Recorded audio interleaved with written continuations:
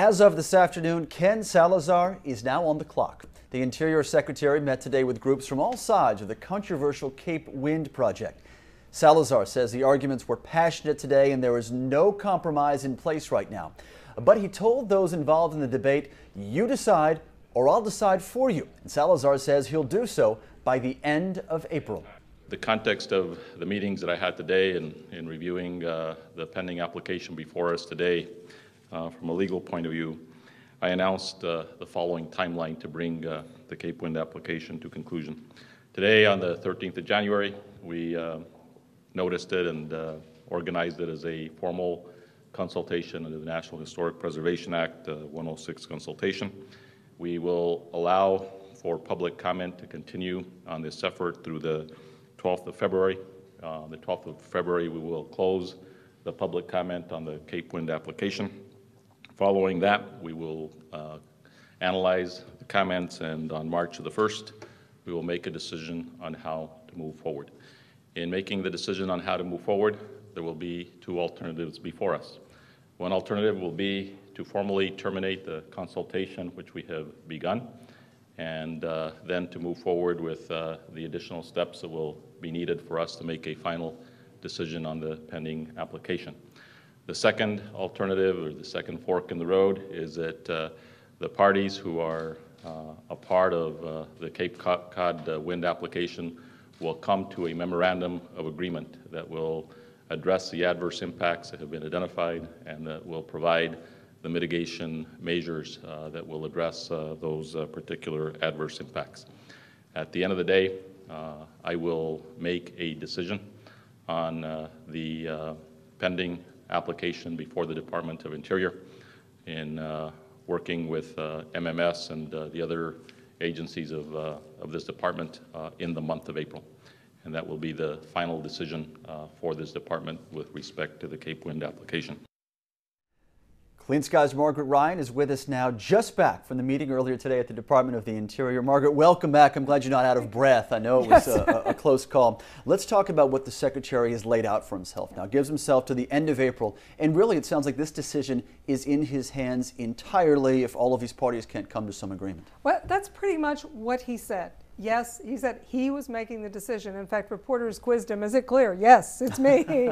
um, he insists he has not made a decision yet. He said the chances are 50-50, essentially. It could go one way or the other. He's going to listen to everybody. There is a formal legal consultation started just today under the Historic Preservation Act. It will go till February 12th. He will look at all those comments. He will not make a decision until after he's gone through that consultation process. Uh, and in fact, legally, he'd be on pretty shaky ground if he said he'd, he'd come to a conclusion before it. I found it interesting that right up top at the beginning, he said, I am the Chief Historic Preservation Officer of the United States. I had never thought of the Department of Interior uh, secretaries that, that way, but he said, this is my job. And he said that's a huge priority with him. And the other huge priority with President Obama is renewable energy. Mm -hmm. So he said, here he is trying to balance these two giant priorities. The historic preservation uh, issue comes up because a local uh, Native American tribe, the Wampanoag, uh, there's a site, the site of this wind farm project is some shallows in Nantucket Sound. And uh, some members of that tribe believe there are ancestral remains on those, uh, what were islands back in the last ice age. It would take it back on the order of 12,000 years, which is right at the edge of any known uh, civil, you know, human civilization of the North American continent. But if there are remains there, there would be things that would, would in fact uh, get historic preservation. Mm -hmm. Now, one possible avenue of agreement that's been discussed is the Cape Wind developers say they'll drill boreholes before they actually sink these foundations. The foundations for these things go 80 feet deep. They're mm-hmm. huge uh, turbines. And they said if any of the uh, boreholes bring up anything that indicates human remains, then, then they'd stop on that site and, and reconsider what they're going to do. But uh, you know, a larger issue, which is in front of the Secretary, is that the historic preservation designation would apply to 500 square miles of Nantucket Sound.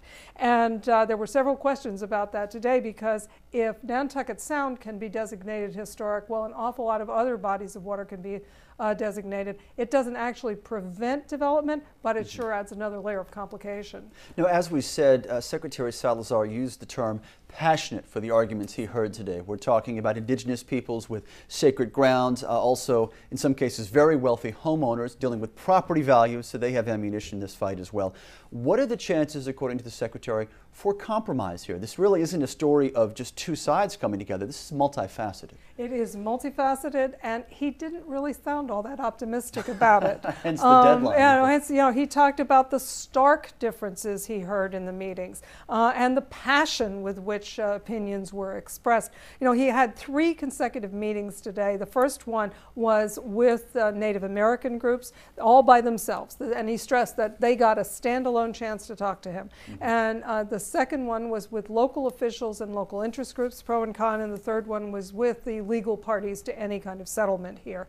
Um, it, he said he originally was going to meet with them on three separate days, and finally he just said, let's just do it all together. And he listened to them all consecutively. He said that he thought that turned out to be a good thing because he was hearing this all at once.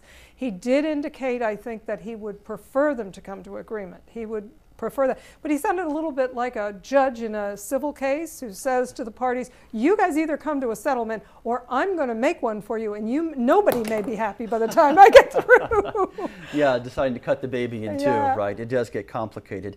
Is this, in some sense, Margaret, a litmus test? For offshore wind development. You said yourself, and the Secretary said it over and over again offshore wind is one of the priorities for Interior under the Obama administration. Well, you know, several times in several different ways uh, at this press conference, Salazar was asked that question, mm-hmm. and he insisted that the decision here is not a template for future offshore wind. He said uh, the Atlantic overall has probably the best prospects for wind development uh, any place in the United States, but he said just not every place is appropriate, mm-hmm. Uh, either offshore or onshore.